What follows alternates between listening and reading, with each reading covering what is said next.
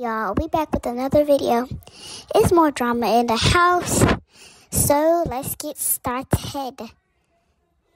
Hey y'all, so before we start this video, I want to give credit to T Squad underscore We Are Hotties because these came from her community page. So yeah, make sure y'all go subscribe to her. Anyways, let's get started.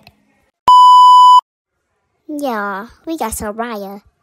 This is our first time ever child probably ever been been drawn, but yeah, we're gonna get started. She, recently, a clown page posted her smoking zaza. And you probably thinking, you think I'm lying? Well, look at this. I just pray to God that she don't get kicked off. Like she a good dancer, she know how to bang, and yeah. But anyways, let's move on. Next one might be kind of crazy. So buckle up and get ready. Y'all know who that is? That's Lil Nai. She is going from T Squad. Like, she even took TSG at her bio. She is gone. She's on cashier now. Now, I specifically don't know what happened, but she is gone. And Skylar was flabbergasted by this, y'all. They like was shocked.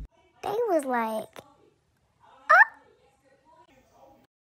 Y'all, this one gonna shock y'all the most.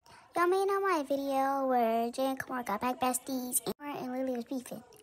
But y'all, allegedly, people saying that they was hanging out today. Like, oops. Side eye. Criminal offensive side eye.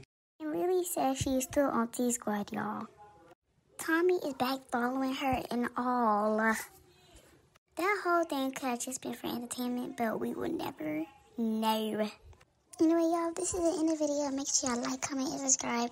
More videos is coming when more drama come in. Like, this is like too much to handle for me.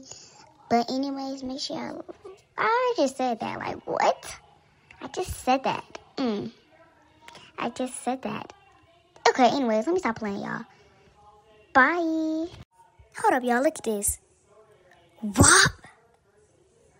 What? Bye.